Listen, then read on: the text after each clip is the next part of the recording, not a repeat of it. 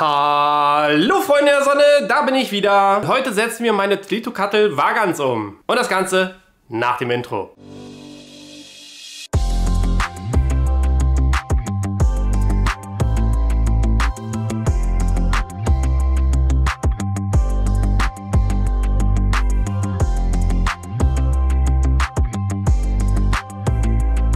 Der ein oder andere hat das Tierchen wahrscheinlich schon gar nicht mehr auf dem Schirm. Aber die Tritocatl vagans ist auf jeden Fall eine der ersten Vogelspinnen, die hier mit eingezogen sind. Problem an der ganzen Sache war, sie war leider nicht so zeigefreudig, sie war noch super klein und sie war immer in der Dose. Und wer das kennt, Dosen aufmachen, Spinne weg. In der Regel immer so. Gibt aber auch welche, die machen das nicht. Aber bei den Slings ist es bei mir immer so gewesen, wenn ich die Luke aufgemacht habe. Ne? Also beim Terrarium ist schon schwierig, aber bei Dosen noch schwieriger. Wenn du da aufmachst, ist sie weg. Umso glücklicher bin ich jetzt, dass ich sie in 20er Würfel umziehen lassen kann. Dafür habe ich auch schon alles vorbereitet. Das Terrarium steht da, ein Näpfchen ist da, Kork ist da, es muss nur noch Erde rein und dann richten wir das Ganze ein. Aber damit ihr erstmal wisst, wovon wir reden, ja, ich habe sie hier drin.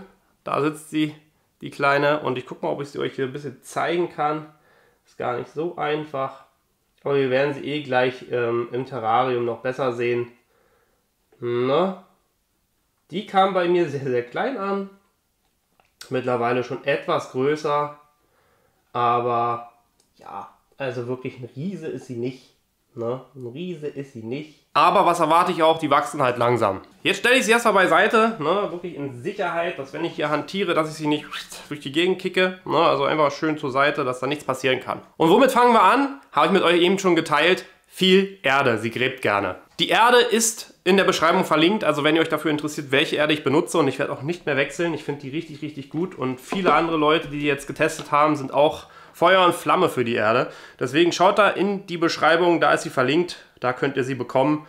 Super toll, ich werde davon nicht mehr weggehen. Ich wechsle alles aus, was ich da habe, nur um diese Erde da drin zu haben. So, dann wollen wir mal das Ganze ein bisschen auffüllen. Ich mache das auch ein bisschen fester, na, damit das auch ein bisschen Struktur hat, ein bisschen fester ist das Ganze, damit sie, wenn sie buddelt, da nicht äh, gleich den Einsturz hat. Ähm, ist mir noch nie passiert, muss ich sagen. Also habe ich noch nie gehabt, dass da irgendwie was eingebrochen ist oder eingestürzt ist.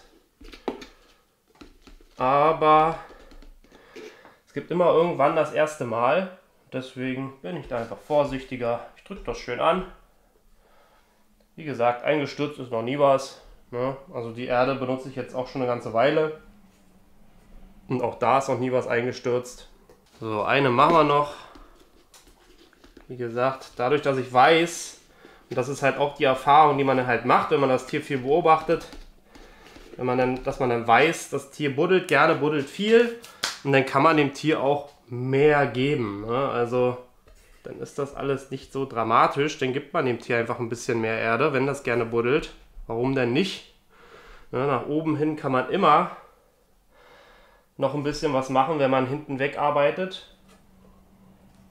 Und dann ist das fein. Was fehlt noch? Kork. Ne? Also wir müssen einen Unterschlupf bauen. Ja, mal schauen, wie wir das am besten anstellen, sodass es halt auch... Ich will halt, dass sie hier so einen kleinen Podest hat, wo sie dann oben drauf rumackern kann. Ich werde wahrscheinlich wieder ein bisschen Erde rausnehmen müssen oder ich baue das hier hinten mit drauf. So. Und dann habe ich hier noch ein paar Korkstücken extra, die ich immer ganz gerne auch zum Fixieren benutze. Ne, weil die liegen dann da noch mit auf, dann ist das noch mal ein bisschen erhöht und dann kann sie da buddeln, kann da reingehen. Hier machen wir auch noch was drauf. So. Also ich weiß nicht, ich mag halt irgendwie so die, diese, diese, diese ähm, Spalten, die sich dann so auftun. Ne? Ist jeden selbst überlassen. Ne? Es gibt auch Leute, die machen einfach nur das Korkplättchen drauf und fertig ist. Ne? Dann kann sie sich da selber unterbuddeln. Ich mache eher gerne so Höhlen mit so Übergängen. Ne? Also wirklich ich zeig's euch. So, was ich meine ist, ich baue das immer ganz gerne so. Ne? Wer meine Videos schon öfter gesehen hat und viel geguckt hat, der weiß das. Ich baue das immer ein bisschen zu, dass dann Erde oben drauf ist, dass die hier reinbuddeln können und dann so einen kleinen ja, Übergang haben. Ne? Also sprich so ein, so, ein, so, ein, ja, so ein Höhlenspalt. Sowas finde ich immer ganz cool. Kann jeder machen, wie er möchte, aber dann kann sie sich hier oben nämlich auch hindrapieren. Die sitzt auch mal ganz gerne auf einer hohen Fläche und deswegen benutze ich das auch so und baue das auch so auf, so wie ich es bei ihr gesehen habe. Ne? Und wir werden sehen, ob sie sich das auch so annimmt und so bleibt. Ja, also vielleicht sagte sie jetzt auch, nö, jetzt habe ich keinen Bock mehr zu buddeln. Kann natürlich auch passieren, aber dann ist es so, das Terrain bleibt jetzt so. bis zum nächsten Umzug und dann weiß ich wieder, okay, jetzt kann ich noch mal ein bisschen anpassen. Was fehlt? Ein Näpfchen. Ne? Das Näpfchen ist ein bisschen groß für die Spinne, aber bei den sommerlichen Temperaturen, die wir alle zu erwarten haben und die auch schon mal kurz da waren, jetzt ja nicht mehr hier in NRW, ähm, bin ich ein bisschen vorsichtiger und dann kriegst du lieber ein großes Näpfchen, wo auch ein bisschen mehr Wasser drin ist, weil wenn du einfach ein kleineres Näpfchen hast, das trocknet sehr, sehr schnell aus. Und wenn sie dann halt auch noch ganz toll ist und so, weiß ich nicht, irgendwas hier reinbuddelt, ne, irgendein, irgendeine Faser oder so, dann ist halt vorbei. Dann fließt das da innerhalb kürzester Zeit raus und da ist kein Wasser mehr drin. Nun wird sie eher weniger entzückt sein von dem, was jetzt hier ist, weil sie eigentlich eher es trocken mag und das hier ist noch relativ feucht, das Ganze, ne, also feuchter, sage ich mal, ne, also wenn ich so mache und es an den Händen klebt, dann ist es immer noch feucht Ne? Und das finde ich dann halt, ja, bei ihr jetzt nicht so toll, aber können wir nicht ändern. Mhm.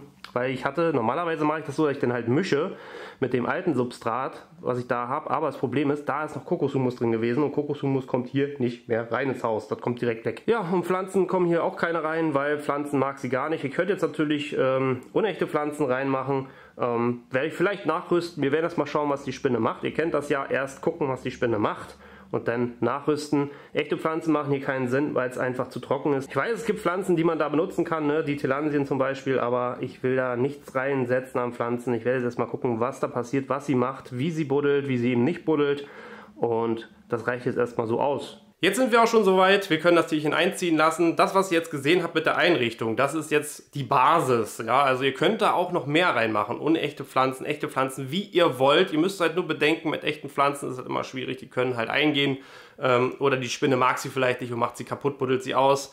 Ne? Also ihr könnt da noch einrichten, da geht noch einiges. Das ist jetzt nur die Basis. Und jetzt lassen wir das Tierchen einziehen und gucken mal, wie sie sich gibt, was sie sagt oder nicht sagt. Na komm.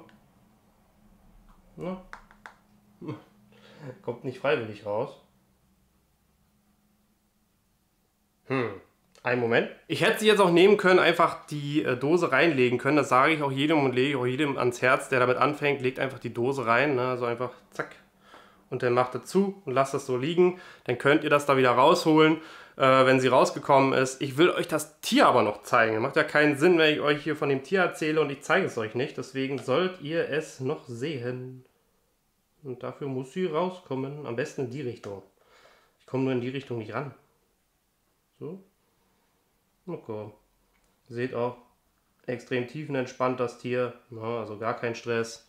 Jetzt muss ich mich beeilen mit der Kamera dass die hier gleich irgendwo hin verschwindet und dann ist sie weg. Denn hier kann man sie am besten sehen. Ne? Also wenn sie hier so auf der Erde drauf hockt, ist sie gut zu beobachten, gut zu beschauen. Ne? Also da sitzt der Klops. Frisch gehäutet. Und jetzt auf dem Weg, oh, was heißt frisch gehäutet? Ist schon eine Woche her. Aber relativ frisch gehäutet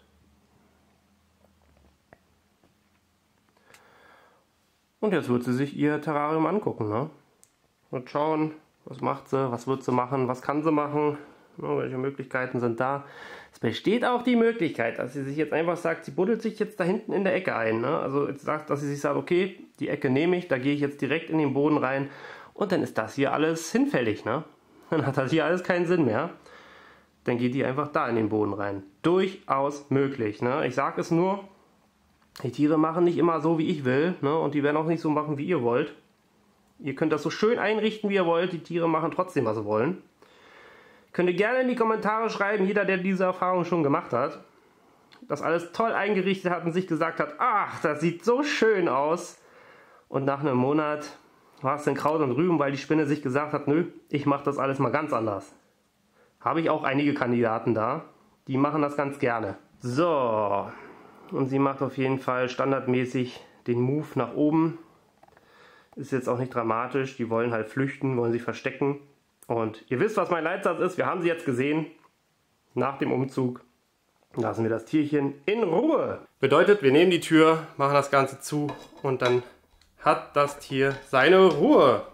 Klack, Luke zu, Spinnchen zufrieden. Hoffentlich. So, und die Kleine zieht jetzt nach hier drüben. So, da hat sie jetzt ihren Platz und da ist es schön. Ich sehe gerade, es ist auch keins der schönsten Terrarien. Es ist sehr, sehr schief geschnitten.